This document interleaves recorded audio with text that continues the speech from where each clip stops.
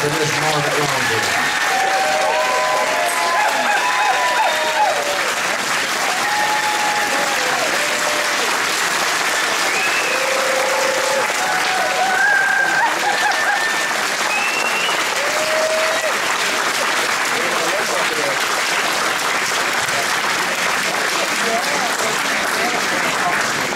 We're not gonna let her talk just yet. She wants to talk, but she's gonna get her chance.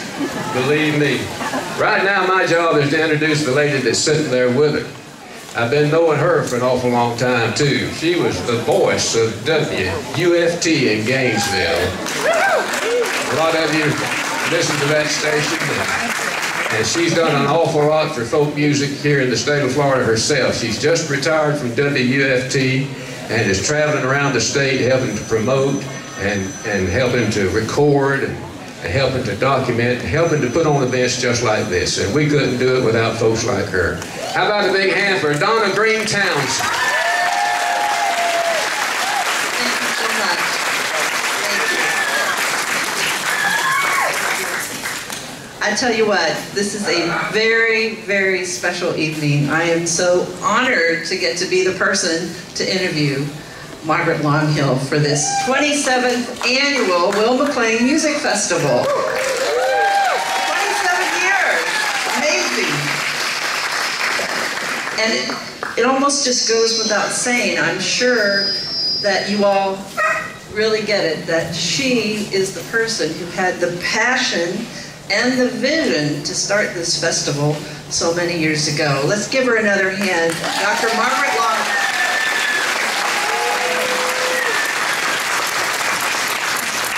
Donna did not let me know ahead of time what she was going to say, so uh, just be careful, okay? She is so humble. She wanted to sit on the front row and just enjoy it, and I was like, no, not tonight. Not tonight, Margaret.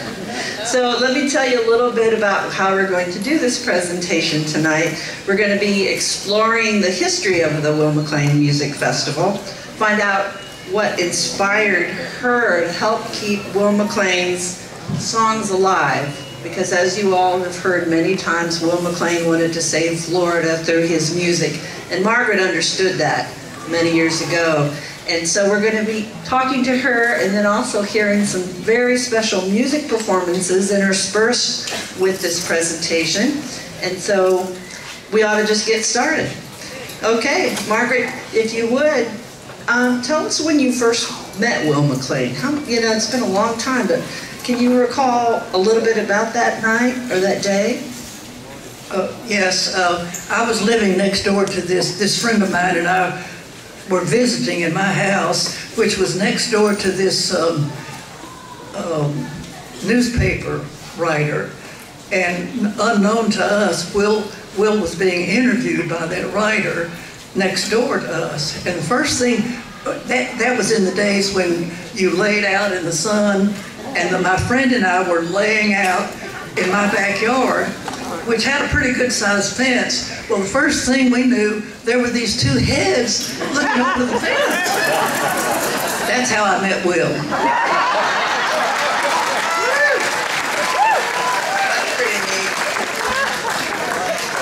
Now you obviously heard him sing a little bit that day too, I think I heard you say. He sang some songs and but somewhere along the line you went, this guy's got something important to say, is my impression. what? That Will had some kind of important message that you felt strongly about, that you wanted more people to continue hearing that music, right?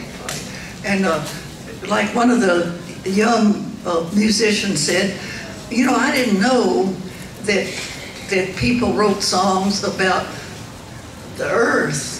That I thought they were just all about people that were in love. In love. Uh, so I said, oh yeah, you know, these songs are about the earth and about the sky and about all of nature. And it was a brand new thing for this young person. So that's kind of how things got started. And you know, you all know how wonderful this music is that celebrates our, our wonderful earth. And keeping along those lines, some of the songs that Will wrote about were about critters like turtles, uh, like Conch Island, many of you heard that song. Uh, he wrote about uh, a deadly chase for a panther in Tate's Hell, right? Those are just really different kinds of songs. Yeah. Um, well, for those who have never been to the festival before, because we're so thrilled with the publicity we got this year from many uh, news media outlets. But if you're here for the first time, just know Will McLean was born in Chipley, Florida in 1919. He died in 1990, and we had the most beautiful memorial service for him, and then dispersed his ashes into the Ocklawaha River. And then Margaret, spearheaded this effort to get Will McLean into the Florida Artists Hall of Fame. I think he was the first Florida uh, folk artist, right, Margaret? Mm -hmm. That's right. Will McLean was the first Florida folk artist to be inducted into the Florida Artist Hall of Fame. Yeah. Thanks to this lady right here that happened. It's incredible. And so before we hear one of the musical performances, we need to, to talk a little bit about the passion you had for having a song contest with this festival. Why was that so important to have a song contest in the festival? Well, um, a, a, contest, it helps to encourage people because there's a prize. And when you have a contest, you've got prizes. So uh, we had this song contest and it it, uh, a lot of the musicians that are here wrote beautiful Florida songs, and some of them won the contest, some of them didn't, but I think the songs are all wonderful. And now we've had, since 1992, we've had hundreds of Florida songs. Will would be so proud to know how many songs have been inspired um, by his dream to save Florida through music. And the first song contest winner is coming up on the stage now and joined by his lovely wife. This is Ken Skeens and Lee. And he not only won first place, but he won second and tied for third. And Will, many people know that Will, he had a lot of great musical buddies. Paul Champion, Jim Ballou, Gamble Rogers, and of course, they, they, it was said that they weaved their magical, that magical music together. And so the song that Ken wrote kind of echoes that whole thing. It's called, it's called The Empty Chair. Are we ready? Let's hear it, Empty Chair.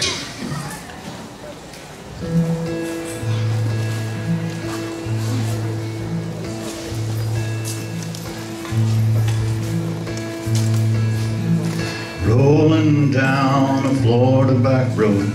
I was feeling kinda dry. Saw this little twilight town Pasted on a purple sky. So I stopped in at their tavern Found myself a stool Watched a quiet game of checkers Some good old boys playing pool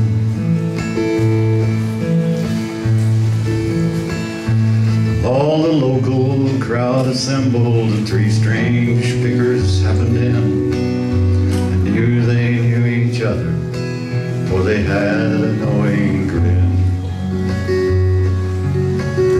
They pulled four chairs into a circle, sat down, feet upon their rungs, seemed to speak a special lingo, as if they spoke in tongues. The one against the wall was that banjo picking Paul. And next to him was that sweet picking Jim.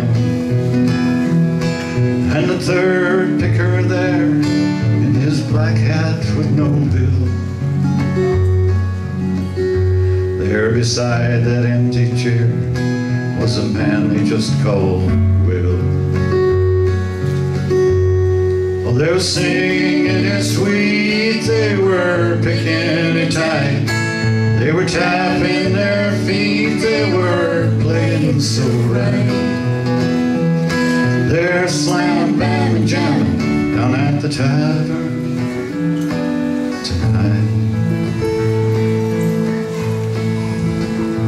Well, a hush fell on the tavern when he walked in through the door. Everybody knew him, we played there many times before. The three strangers knew him too, were not surprised to see him there. They all stood and shook his hand and nodded to the empty chair.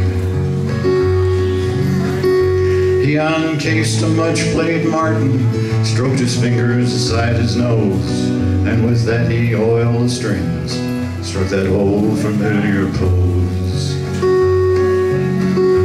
And the music then forthcoming was the sweetest in the land. These four noble sons of Florida, kicking up the sand. Seems the one against the wall was that banjo picking Paul. Next to him was that sweet picking Jim. Next to Will to make the four, kicking up the beat. That old Florida troubadour, the circle was complete. They were singing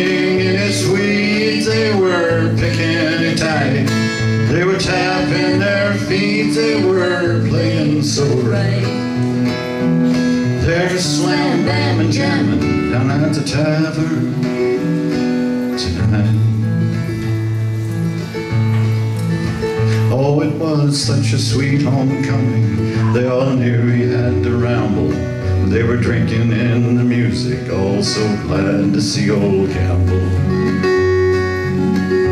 Banjo, guitars, harps, and singing, oh, was such a welcome sight. Ocklawaha County's favorite son is playing home tonight. Were singing sweet, they were picking it tight. They were tapping their feet, they were playing so right. They're slam, bam, and jamming down at the tavern tonight. Oh, I had to move along, and as I left them playing there, I could still hear their songs floating on the midnight air. So now whenever there's a jam, no matter when or where, for whoever might drop in, always have an empty chair. So now whenever there's a jam, no matter when or where, for whoever might drop in, always have empty chair.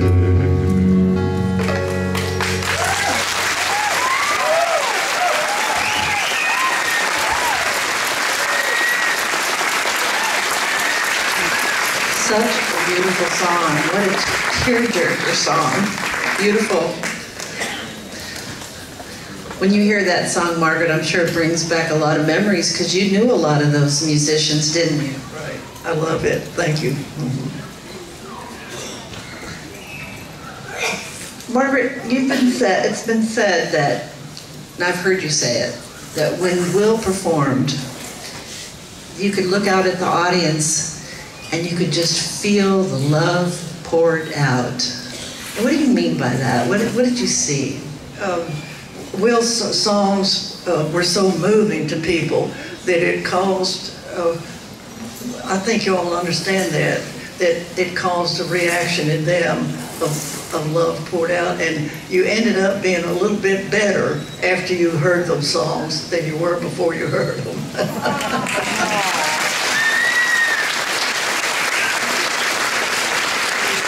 You mentioned a little bit earlier that he wrote, he liked to write about critters because he liked to, he liked to camp in the swamp and in the woods, right? I think you had an experience camping. He taught you how to camp, I think, right? Mm-hmm, right. Darn, I was going try to get more out of that one. uh, I had the chance to meet Will at Gore's Landing, and he told me that all he needed was a fishing hook and a bag of taters, and you know, he, he could just get along fine, just be able to catch a fish, right? And have some taters to fry up at Gore's Landing, and just love to live in the woods.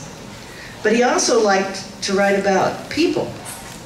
Not just the critters, because he's got some interesting songs about uh, people that you wouldn't ordinarily hear songs about, like. Uh, You got somebody to sing them? well, uh, many of you all can hear these songs on, on the CDs that we have at the Will McLean uh, tent, so I hope that you'll pick up some of these. But Cush Holston and Scotty the drummer, Osceola, That was a nice little sales pitch. But we want to keep the Will McLean Festival continuing to go and keeping the foundation strong. And if you've never heard those songs, those are available at the Friends of Florida Folk booth or at the foundation, right? Uh, we were saying that that he liked to camp, and um, he also liked to be by the swamps and wrote some interesting songs about wild hogs and a lot of river songs. He wrote about the Ocklawaha River. And the one of the other winners of a song contest that we're going to have come up and do a song won the song contest three times. Three times. And Margaret said, okay, that's it. You can't win it more than three times. Why don't, tell them who it is. All right. Mike Jurgensen. He's going to be coming up with, with Pete Price and uh, Pete Hennings and, and do the song that won for him the first time. It was a song called Music Drifts Along This River. Beautiful song. I think he recorded it first with the group Myriad, which many of you all may be familiar with the group Myriad. I always hated it that they broke up until he got with 2 p.m. and now I'm happy again. I've been blessed in We're happy throughout my musical career. So uh, we're going to hear that song tonight, and then we'll have some another couple of presentations as well coming up in just a little bit. So some people get a little confused when they hear 2 p.m. because they, they get it mixed up with performance times, but actually it means we got two P's and a mic, so it's 2 p.m.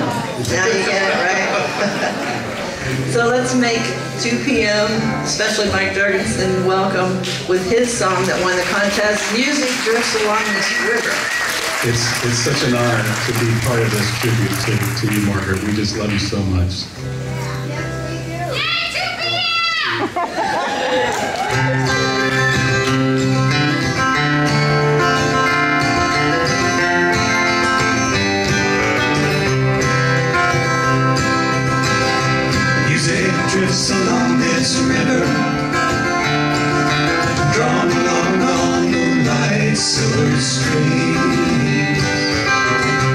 And we'll sing these songs together.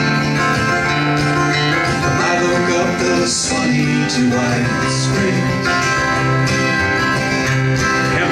burning bright this evening. Smiling faces lilting voices joined in harmony circle a reunion each one different each one sharing together they will weave this tapestry music drifts along this river drawn along on moonlight silver streams. And we'll sing these songs together. White Springs. And these songs will travel with us. Tell our history. Dream our future. Links to form and change. And we're joined here by this river Ever flowing Always changing. Constant as the wind and the rain. Music drifts along this river. Drawn along on moonlight silver streams And we'll sing these songs together. From I woke up the Swanee to White Spring. Take it, Pete.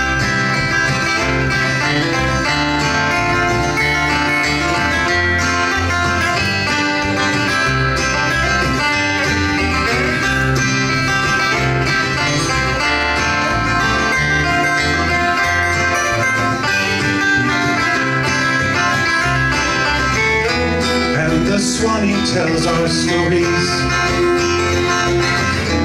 And it tells us stories too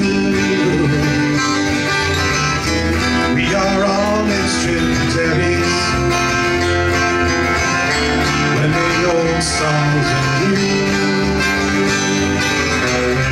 Music drifts along this river. Drawn along on the night's silver strings And we'll sing these songs together From I woke up the Swanee to White Springs And they'll sing these songs forever From I woke up the Swanee to White Springs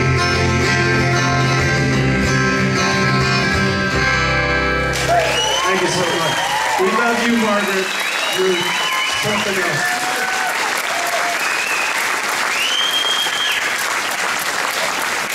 I think that's one of the most beautiful songs, really, ever written.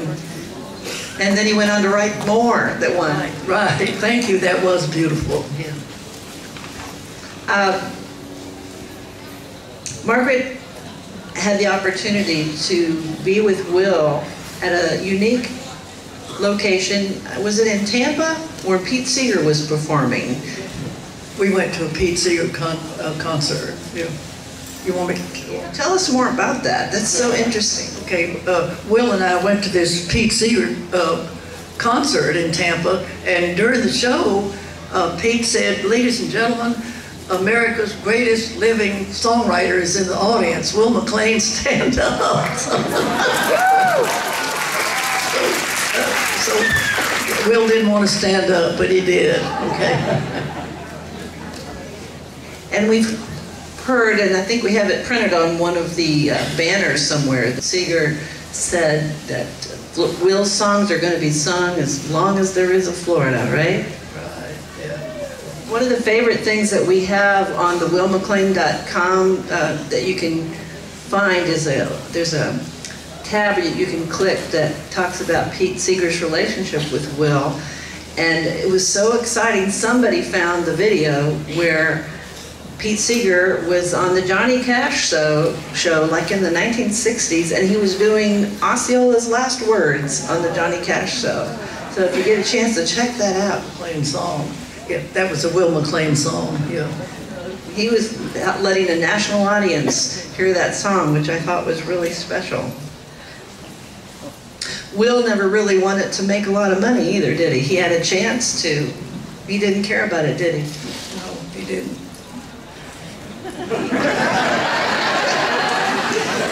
He, he could have been famous, but he didn't care about that really, did he?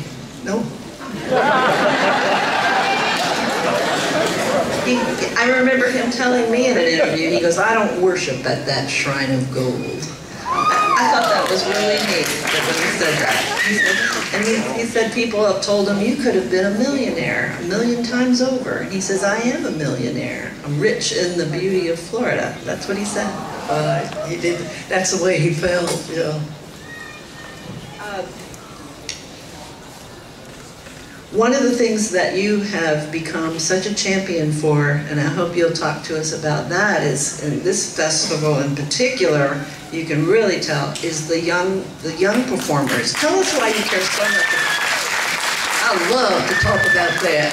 Uh, we uh, encourage, but we already have the most amazing group of young uh, folk music performers that are right here at this festival. I was over there today uh, and, and caught the end of one of their shows. The talent was just thrilling. So uh, do let's do all we can to encourage these young people to think about Florida, to appreciate uh, the nature, and to keep writing songs and spreading the word to other people. So please help us do that, okay?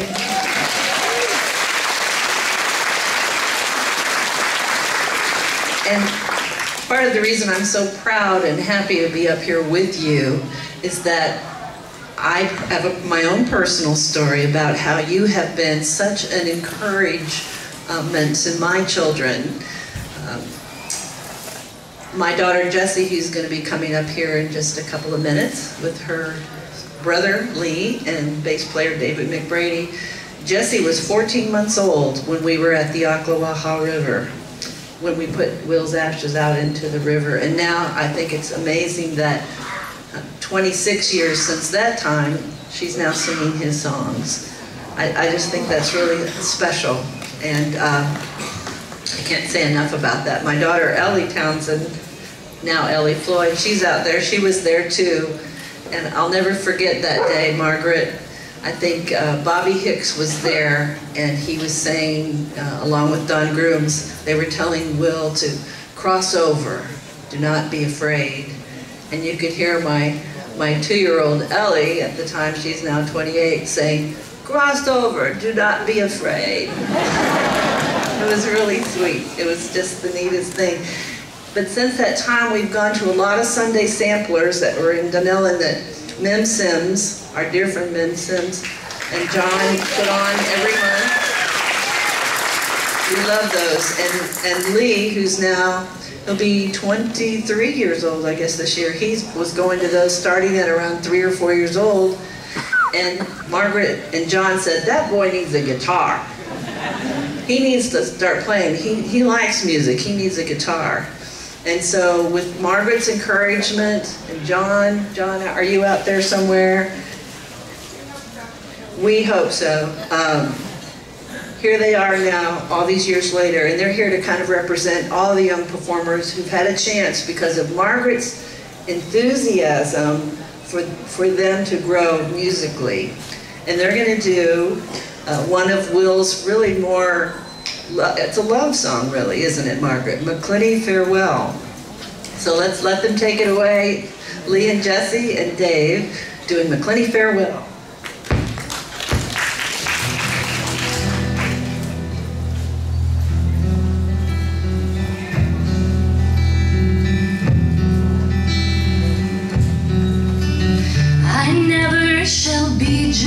Just another You touch as you flit to and fro. I'm not in your stable of lovers, but I'll love you wherever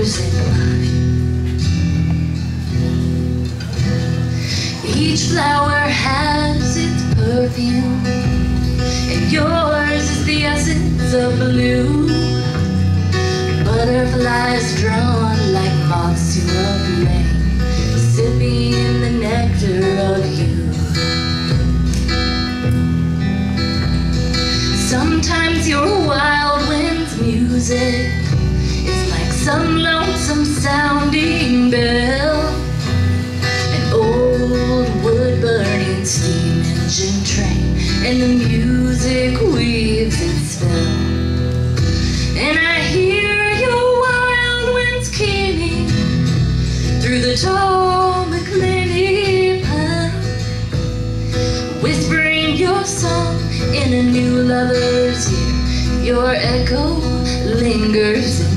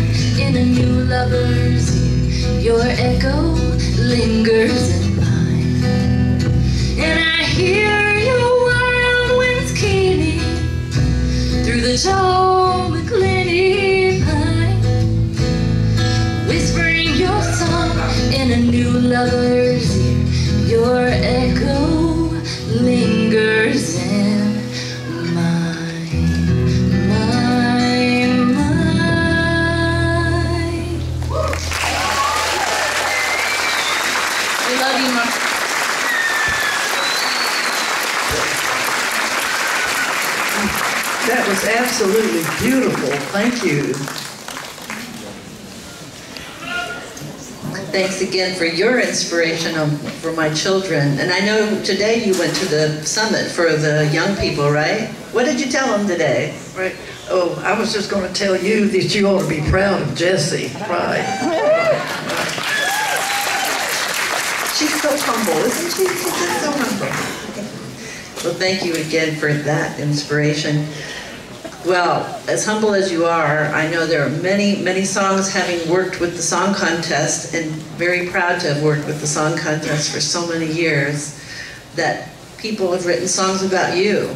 There have been a lot of people who have written songs about you, Margaret, and um, we're not going to be able to hear every single one of them tonight, but we are going to have a special song coming up here in just a second from one of our favorite singer-songwriters here, who's written a beautiful song about you called Oh Margaret. And so Amy Carol Webb will be coming up here on stage. Hope she's close by.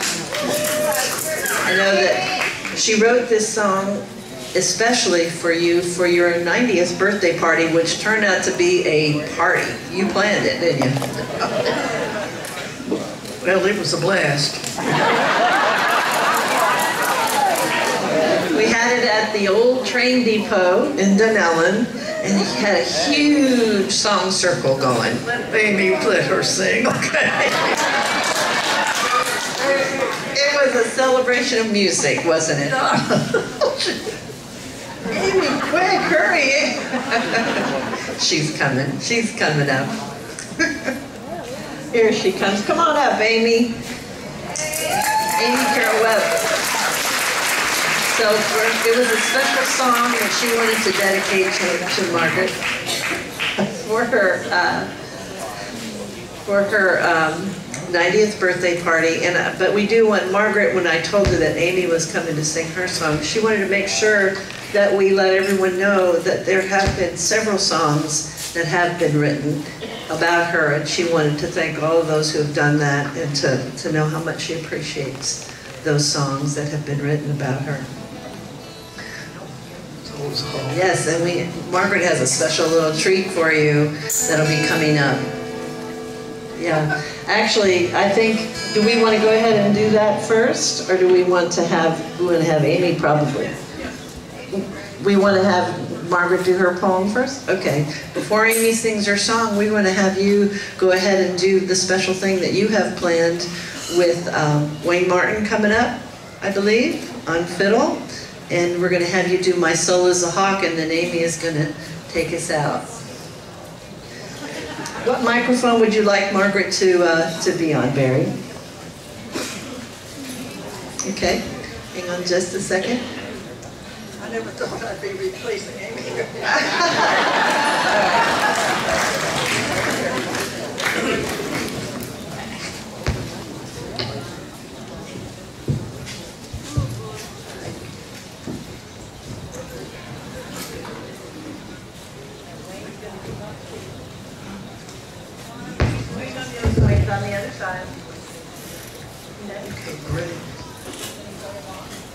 there, those wonderful music. Is this thing on? These wonderful musicians are going to play along as we do My Soul is a Hawk, okay?